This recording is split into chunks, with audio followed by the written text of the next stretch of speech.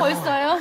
서로 조금 떨어져 있는 시간을 더 소중하게 여기는 것 같긴 해요. 네. 그러니까 좀 질릴 땐 집을 비워라.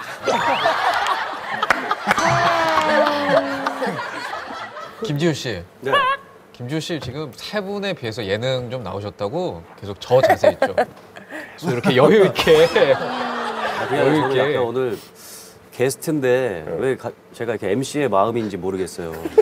무슨 얘기야? 아니 진짜로. 아니, 그러니까 왜 저희가 약간 이렇게 MC 입장에서 봤을 때 쉬운 게스트는 아니잖아요. 그러니까 저도 예전에 이제 탁재훈 씨랑 할 때 얘기했었거든요. 이제 이렇게 드라마 같은 거 때문에 딱 홍보하러 나오면 연기자들이 아무래도 이제 말을 많이 안 하고 리액션을 안 하니까 어, 되게 힘들어하거든요. 그래서 그 마음이 고스란히 느껴지면서 말을 저밖에 안 하잖아요.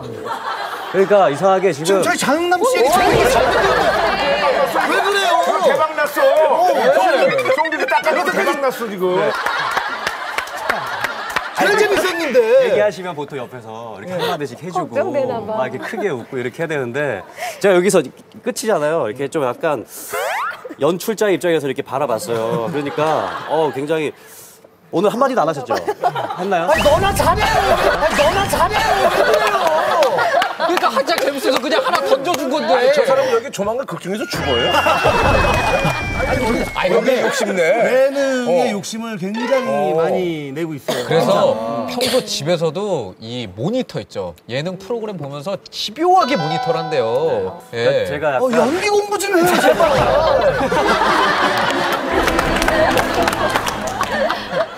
봉태규 씨가 우리 화신 MC로서 지금 이렇게 맹활약을 하고 있는데 봉태규 씨한테 네. 조언해 줄건 없어요? 네. 일단 봉태규 씨 같은 경우에는 좀 조- 좋은 옷 입으면 안 돼요? 좋은 옷 입으면 안 돼요? 아니 진짜 그냥 시청자 입장에서 오.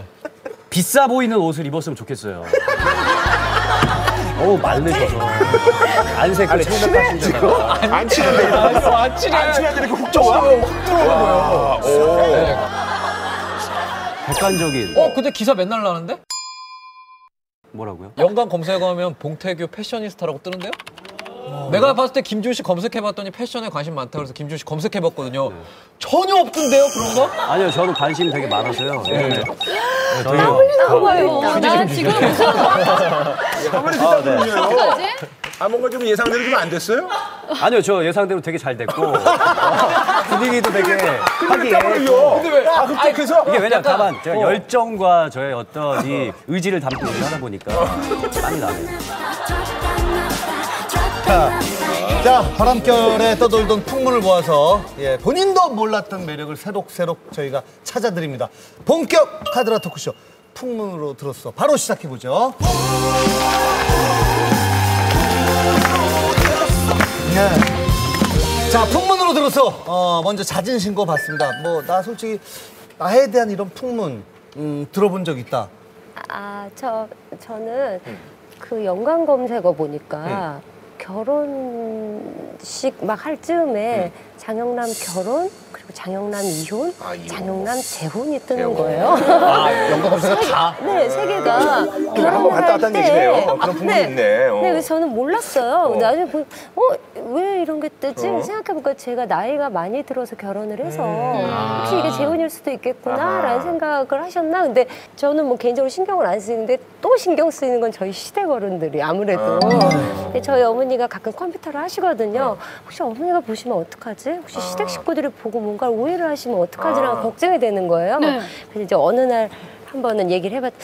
아유 연관 검색어에 이렇게 재혼이 이렇게 올라와 있더라고요. 그랬더니 어머님이 어 그래 그러더라 이러고 한마디 하시는 거예요. 그래서 알고 계셨고. 어머니도 네, 이미. 보신 거예요. 어, 그래, 그게 그런 게 있더라. 왜 어, 그랬지? 궁금했구나. 그래서, 네, 아, 그러니까 그게 아마 이래서 이래서 그런 것 같아요. 이러면서, 네, 이야기가 이렇게 분화가 됐었던. 되게 신경이 쓰여서 먼저 네. 얘기를 했군요. 네. 네, 제가 알기로 장영남 씨가 시댁에서 나이가 가장 많으시대요.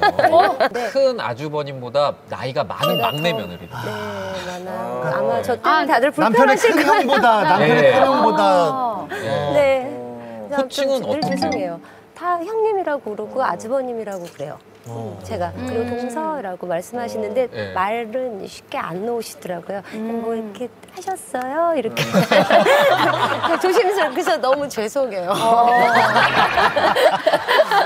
그렇죠.